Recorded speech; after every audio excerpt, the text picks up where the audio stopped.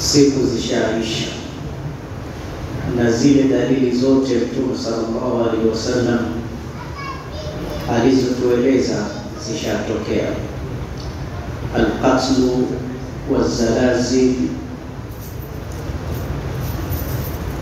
vipo vya jumla jumla, matetemeko, chombo kimeondoka kimeua ishirini, hajatoka hata mmoja, na haya yote yashatokea mpaka akafikia stage vivyo vitakifiri mpaka alouliwa akiulizwa kwa nini umeuliwa, hajui kwa nini ameuliwa, na aloua hajui kwa nini ameua, na haya yote yashatokea.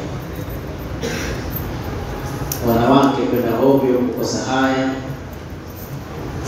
watoto wa zinaa kukithiri sana. Hizi zote minasharabi sana. Leo katika khutba tulimwona Sayyidina Qabil bagaitu Adam alayhi wa ala nabiyina salatu wassalam, baada ya kufanya makosa aliondolewa kule peponi. Allah alimwambia ihbitu minha jamia, ondokeni wote hapa mkaishi ulimwenguni. Yeye alishushiwa India na mkewe alishushiwa Jidda Maka, wa unzilatil hayya, na nyoka naye alikuwemo, kwa sababu nyoka ndo alosababisha kumdanganya mzee yule. Lakini siku hiyo hiyo Ibilisi pia alitolewa mbinguni akashushwa katika moja ya milima fulani Iraq. Katika kutafutana, walikutana pale Arafa, Maka. Ikabidi Adam alayhi salam aishi na mkewe Sayyida Hawa, wakawa wanazaa watoto, ikawa kila mimba anatoka ibnun wa bintun, mtoto wa kiume na wa kike, akhu tauam. Kila mimba wanakuja na twins, mapacha. Mimba ya mwanzo akazaliwa Qabil na dada yake. Mimba ya pili akazaliwa Habil na dada yake. Mimba ya tatu akazaliwa Shiv na dada yake. Mimba ya nne akazaliwa Melak na dada yake. Katika mimba ishirini akapata watoto arobaini. Mtoto wa arobaini alikuwa Ummul Mughith na Abul Mughith. Katika watoto wake wa mwanzo Qabil na Habil wakawa watu wazima, na utu uzima una mambo yake. Mke ataka mume na mume ataka mke kwa ajili ya sunna ya zawaji. Sasa usoni watoto wa tumbo moja, Nabii Allahi Adam akatoa sheria akasema, wewe Kabili itabidi umuoe dada yake Habili, na wewe Habili umuoe dada yake Kabili kwa sababu ya kueneza watu ulimwengu. Nasemaje? Yule mkubwa Qabil akapinga, sema la, ana sakutazawaja ukhti, mimi nitaoa pacha wangu, dadangu nilozaliwa naye mimi ndo namuoa. Haya mambo ya kuchaguliana mke siyawezi. Kwa nini alikataa? Kwa sababu yule dada yake Kabili ambayo ndio mimba ya mwanzo, wanasema kanat shabiha liummiha Hawa umma bashar, alikuwa anafanana sana yule mtoto wa mwanzo wa kike na mama yake Hawa umma bashar. Na mama Hawa kama ilivyokuja katika hadithi ya Mtume sallallahu alaihi wasallam ni ajmalul alam au fil alam ndo mwanamke wa mwanzo mzuri wa Kiarabu duniani. Hajawahi kutokea mwanamke mzuri kama Mama Hawa al-Bashar.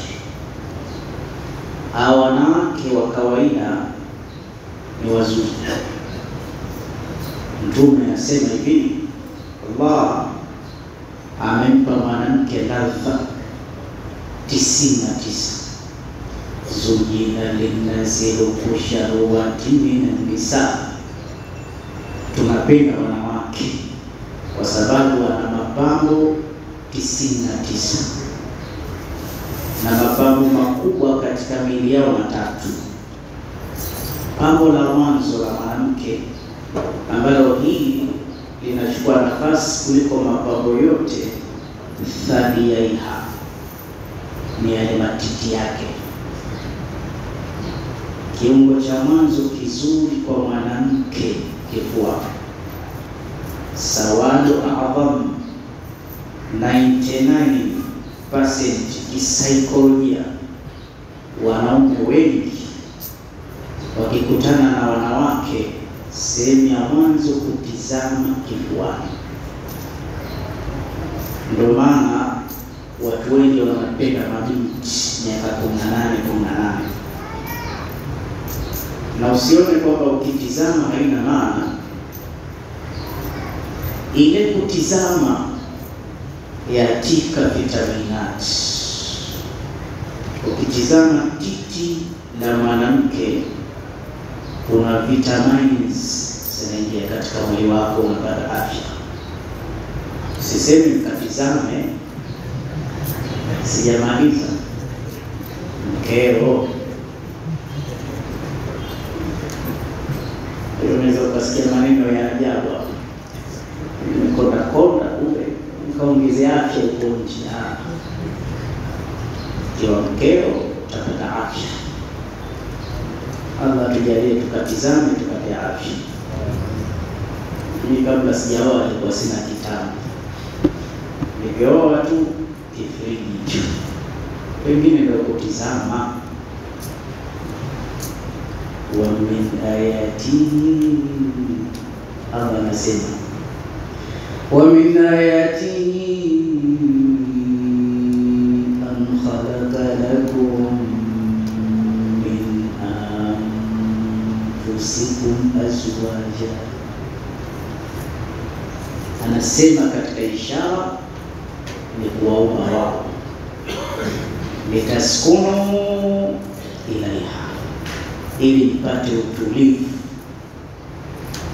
Mtu ambaye hana mke wala hajamiani, wanawachuoni wanasema anaweza, ana uwezekano mkubwa sana wa kupata maradhi ya kifafa. Tendo la ndoa linasafisha damu, linaongeza akili na pawa ya akili.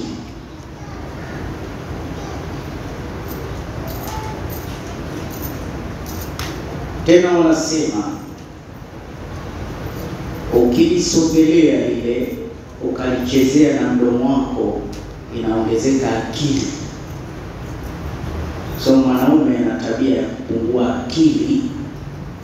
Wanasema mwanaume ana vichwa viwili, sawa sawa, eh? Wanasema na vichwa hivi havifanyi akili, havifanyi kazi vyote kwa wakati mmoja.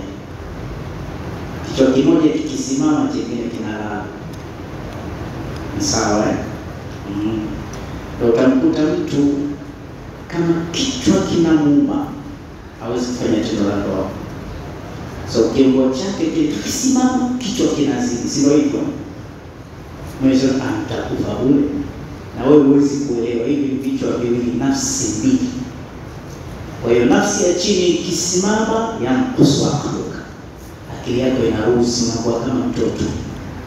Ndio wale wanawake wajanja wamsubiri mumewe kifuani, ndio anapitisha haja zake. Baba fulani, eh, naomba ununulie deni Haya, na mimi nitakununulia, hata ujui kama huna kitu. Ndio maana kichwa hicho kikisimama, mara nyingine unazini, akili hamna pale. Ukishazini ndio sisi lakini yule shekhe, lakini mke mke wa mtu huyo, unajua mtafungwa, unajua mtakufa. Kilivyosimama akili ziliondoka.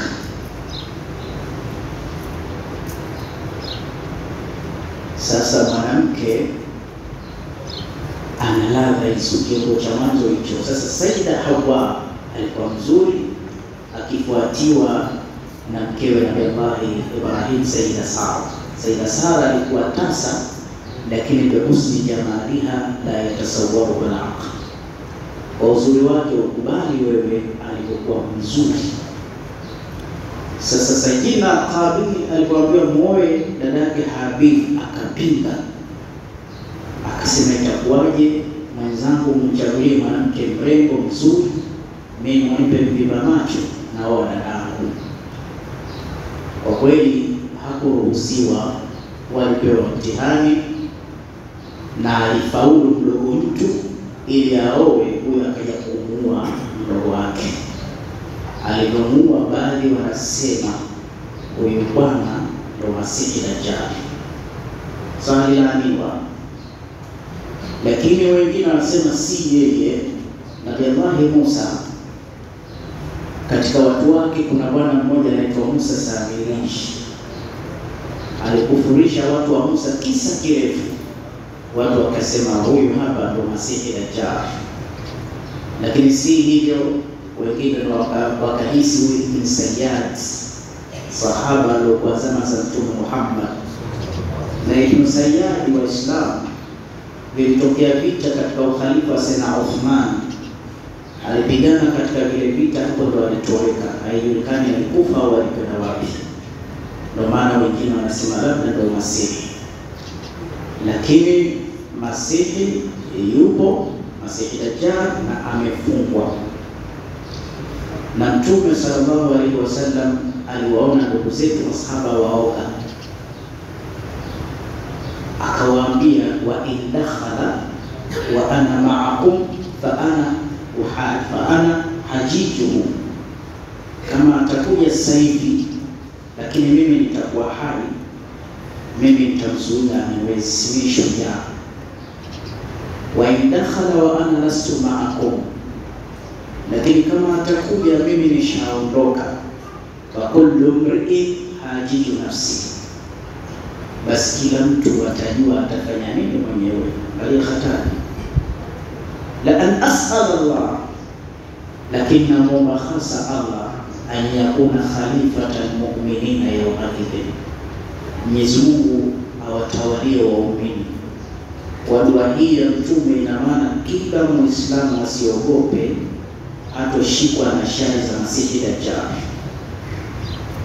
Akaishi siku ngapi? Akasema arbauna yauma, siku arobaini, lakini hizo siku zake arobaini yaumun kasanatin wa yaumun kashahrin wa yaumun kajumatin wa sairi ayyam ka ayyamikum hadha.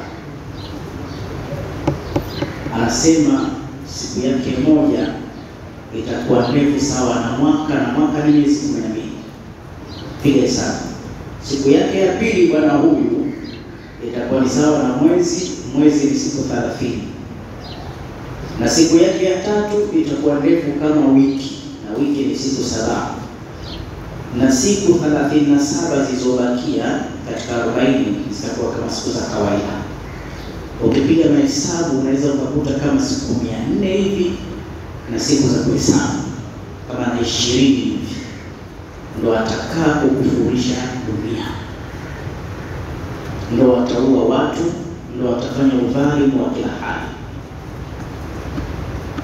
Sasa basi, Mtume akatufundisha kitu, akasema man adraka minkumul nasiha, mtu atakayetokewa ghafla na masihi falyaqra biawal fawatihi suratu Kahfi, alhamdulillahi alladhi anzala ala abdihi alkitaba wa lam yaj'al lahu iwaja qayyiman, mpaka hivyo. Ukimwona katokea soma aya kumi za mwanzo za suratu Kahfi hauwezi, na hii ni suratu Jumuiya. ni sura ambayo kila Ijumaa kama leo usikose sura hii, sura Kahfi. Na hii sura Kahfi ina mambo mengi sana makubwa ya kiama. Kuna sababu kama tano mpaka tunaisoma sura hii, sura Kahfi. Muislamu usikose Ijumaa mapema, soma sura fulani. Kama sasa hivi ilikuwa kabla ya Ijumaa hujasoma, basi hivi sasa soma. Ni kinga kubwa sana Qur'ani. Tatizo ni pale atakapotokea alafu huna chochote katika Qur'ani. Lakini leo nakuondoka kuondoka nalo, zile sifa tulizozitaja ziweke akilini, na Mtume kuchukua muda kututajia ili asitubabaishe. Anaila kibao, kwa nini tumwite Mungu?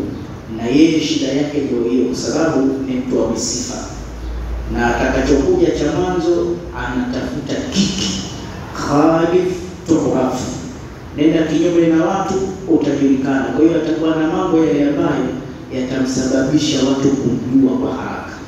Sasa basi akishafufua watu kwa uongo, akimchana yule muumini na kumtupa motoni, atakavyoathiri vitu vya jamaat, watu wengine watakataa ile dawa yake, atazuia mvua, atazuia chakula, mimea na watu watakaribia kufa.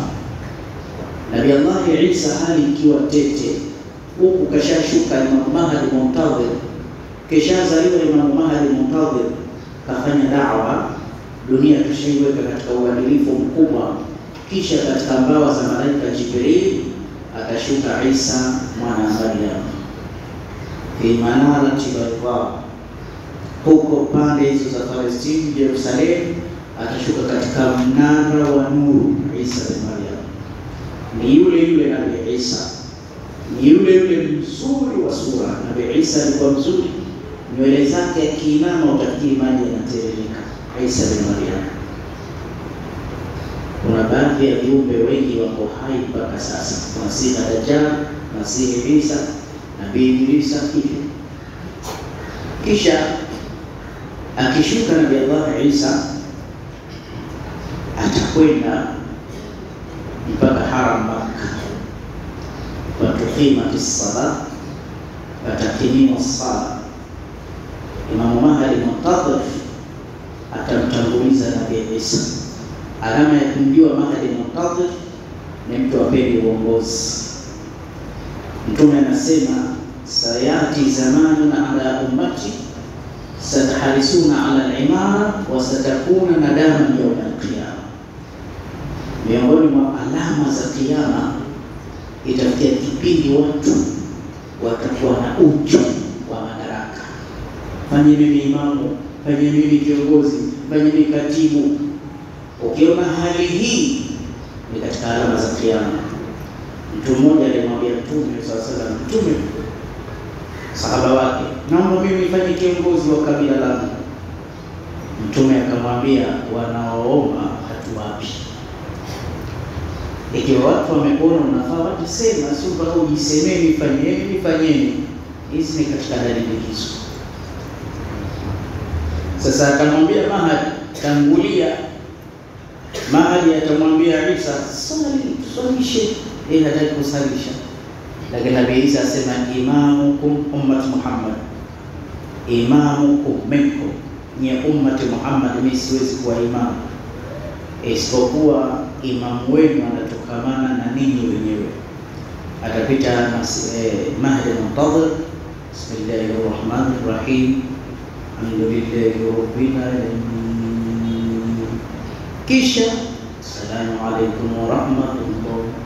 Baada ya kutoa salamu, zitasikika kelele za mazogo. Hey, hatari! Hatari gani? Anakuja Masihi Dajjal, atakakuja kuchukua msikiti wa Maka na Madina na Palestina, afanye vurugu zake. Kisha ndio hapo Nabii Allah Isa akasimama na mahali Muntadhir. Mtume anasema katika hadithi, watasimama kama makomando wawili wakiwapanga Waislamu sufufa, wakiwa wamewaweka katika safu. Hapo wanataka kwenda kufanya ukombozi, kwa sababu waumini wengi wamekuwa jela, wanateswa na masihi, wameshirishwa na njaa, watu wanauliwa ho. Allah Isa ataoa, atapata na watoto na atakufa baadaye. Kisha baada ya hapo takhruju daba, takuja kutokea mnyama, takuwa anazungumza na watu.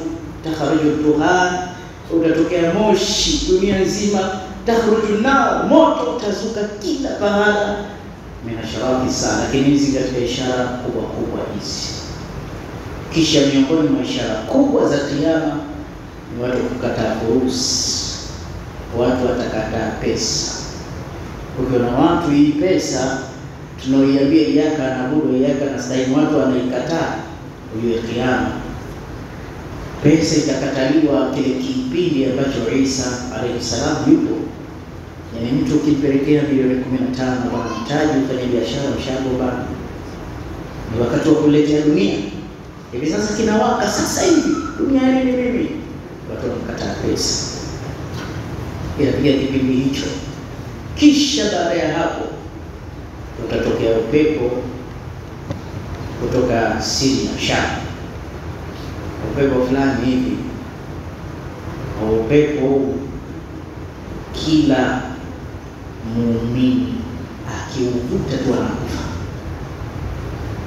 kila mja mwema, mpaka mtu kuogopa shari ya upepo. Lakini utakuwa unatafuta watu, utakuwa kama hapa msikitini unasikia unavuma, basi wote utaanza kukimbia, atoke mtu, mpaka mtu atakimbia kwenye pango akajifiche, kabla hajaingia ule upepo unaingia, anakutana na kufa.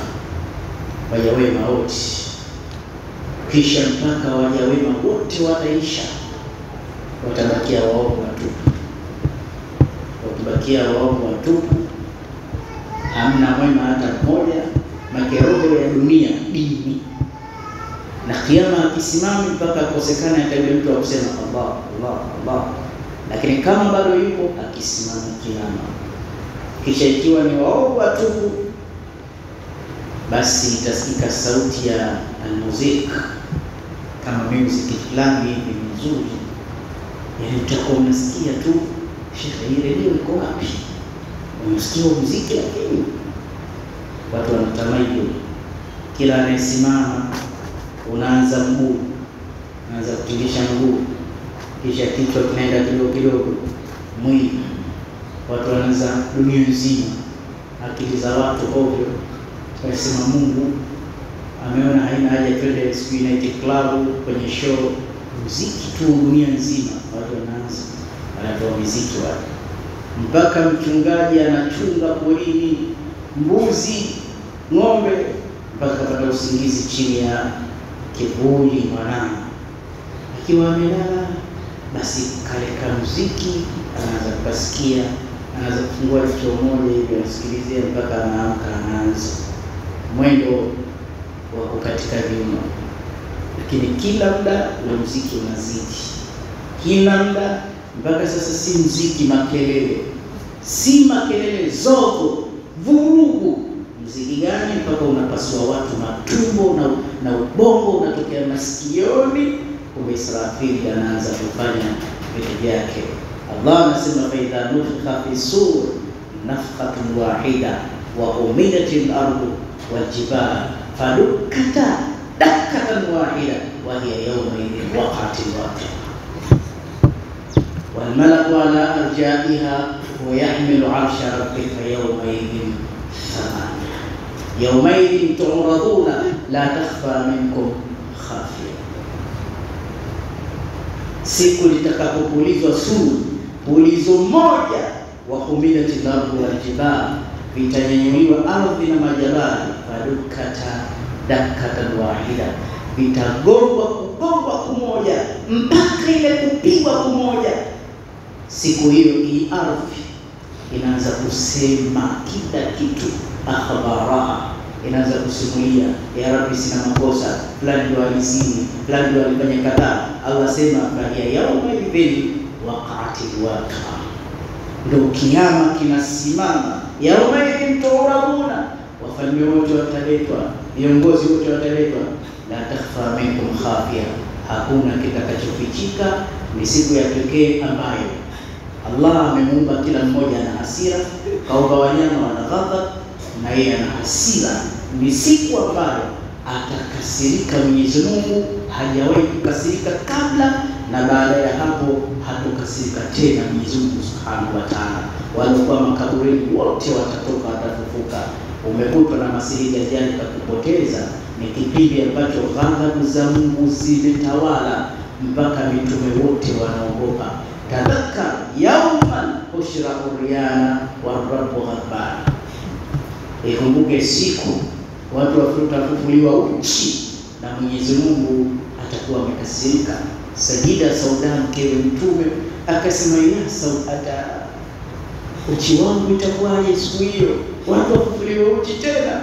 Mtume asema, yauma yafirru almar'u min akhihi wa ummihi wa abihi wa sahibatihi wa dhabihi likulli imri'in minhum yawmaidhin sha'anun yughnihi wujuhun yawmaidhin musfira dhahikatun mustabshira wa wujuhun yawmaidhin 'alayha ghadara tarhaquha qatar ulaika humul kafara tulfajr. Ni siku kila mtu atamkimbia ndugu yake, na kikija kilima cha sahiba, mke na mume watakimbiana. Ni siku ambayo mtu yoyote aliofanya mema hamsini maovu hamsini kwa dua ya Mtume saa salama atakuwa lakini ni siku ambayo mtu kafanya mema hamsini maovu arobaini na tisa lile jema moja lake atapewa dunia mfano wake mara kumi. Lakini sasa kuna yule mtu ambaye amefanya maovu hamsini mema hamsini, akiwekwa katika mzani, mizani yake inakosa balansi, na tunataka fa amma man thaqulat mawazinuhu fahuwa fi ishatin radhiya, lakini wama man khaffat mawazinuhu fa ummuhu hawiya wama adraka ma hiya narun hamiya. Ukifanya maovu maovu hamsini mema 49 mzani umepinda, moto utakaowekwa wewe ni moto wa hawia, ambao atakuwa mama yako. Kwa nini umeitwa mama yako? Kwa sababu ulipokuwa katika tumbo la mama yako, kana kwamba ulipokuwa ulikuwa umeitibuni, basi kitachongwa chuma cha shaba motoni, uingizwe yule. Tena wanakusudiwa hasa asunati, wazinzi. Allah anasema mtu mzinzi, yakhlulu fihi muhana akidhaafu anhu katika sura Furqan, katika watu wataoingia wanyonge kama wameonewa motoni, ni wazinifu. Na kwa nini mzinifu adhabu yake ni mbaya? Maanake mzinifu adhabu yake haikosi ngozi, haikosi mkono, hisia nzima, bodi lazima liungue sana, kwa sababu wakati ana sex alienjoy. Ndio maana hadi ya mzinifu kama ni mawe, tusimwanze na jiwe kubwa akafa haraka, tuanze na mawe madogo madogo, piga mgongoni pale palifurahi, piga kwenye mgongo pale, piga kichwani jiwe moja, piga mawe mengi mengi, mwili wote ule. Na kama hajaoa ni bakora, basi zile bakora apatikane mtu ajiladao mwenye nguvu. Kama mkia wa taa, pakwe mafuta yale ambayo hatobabuka akatushughulisha, hatokufa, lakini tumtandike zile bakora. One two three four. Mpaka bakora ngapi? Eh, mia apigwe bakora alie ule utamu wote mpaka umondoke katika kipigo. Sasa na motoni, kipigo chake mzimzi kichukuliwe chuma cha shaba, awekwe katikati ya kile chuma kama alivyokuwa katika tumbo la mama yake, kichomelewe juu, kichukuliwe kile chuma kikiwa kimeshika ngozi yake, kiwekwe katikati ya shimo la moto wa Jahannam, aunguzwe kwa mafuta yake kama ni miaka sabini mia, apige kelele hana wa kumsikia. Yaani Mwenyezi Mungu ni Arrahmani, lakini ni Arrahim. Hii Arrahimu izingatie sana. Arrahmani ana huruma na wema na waovu, mwasi utakula tu, lakini Arrahim, Allahu akbar, ana huruma na waja wema tu akhera. Ina maana zile huruma za Mungu zina mpaka Yaani akhera, Mungu ukiingia katika timing zake umekwisha, yaani anabadilika vibaya, utalita, anakusubiri. Sasa maovu yako hamsini, mema yako hamsini, na kilichokuponza tabia zako.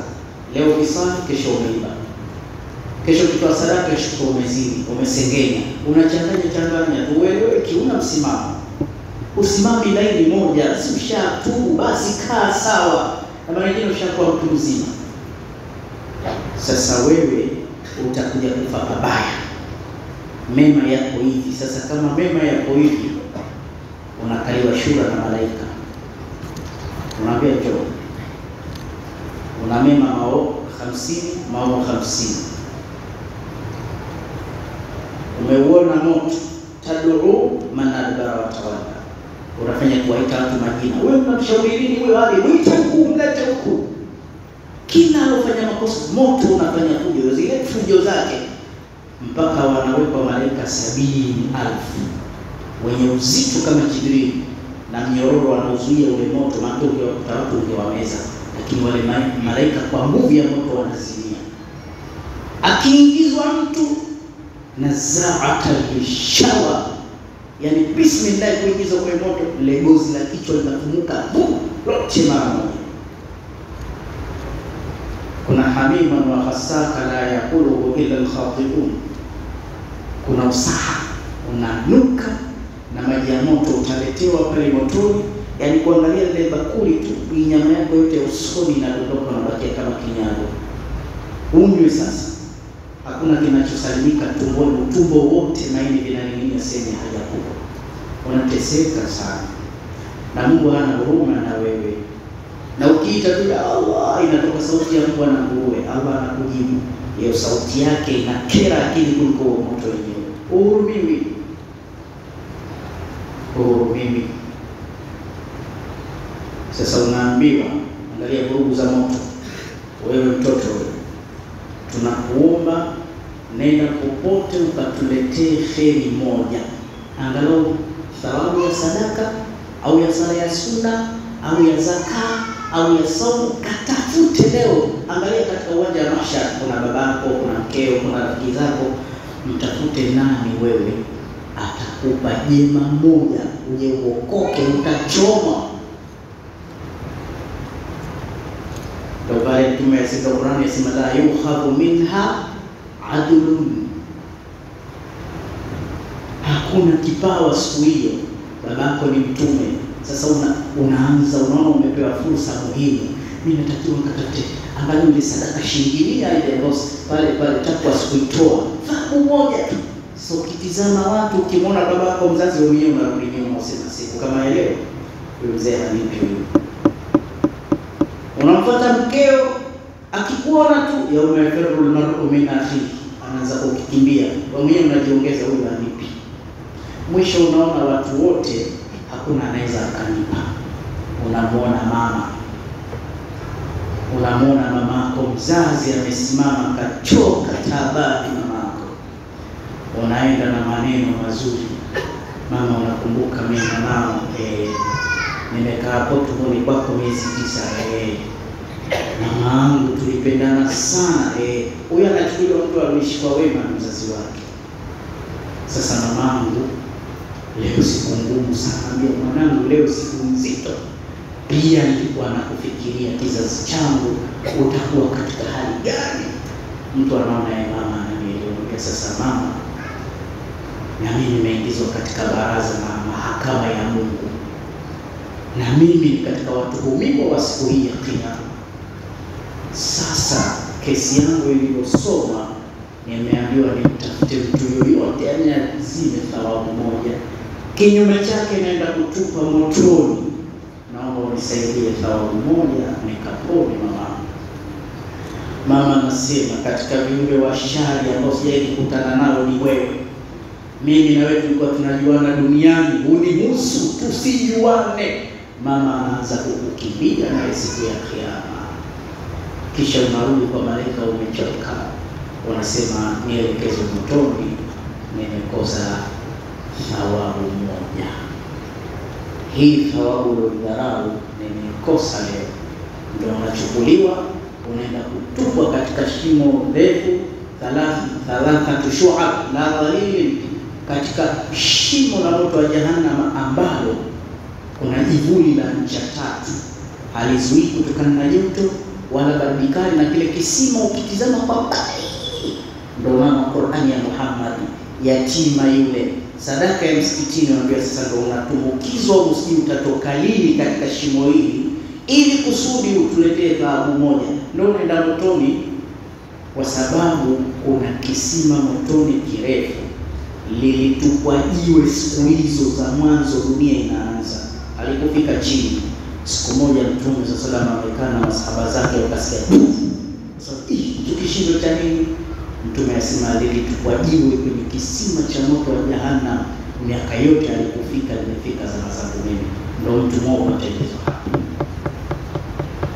Kwa hiyo tujiangaeni sana na kumcha Allah, tupunguzeni madhambi. Dunia sasa hivi ina aibu, zinaa sasa hivi inakuita kila kona. Usishawishike Muislamu, utakufa vibaya.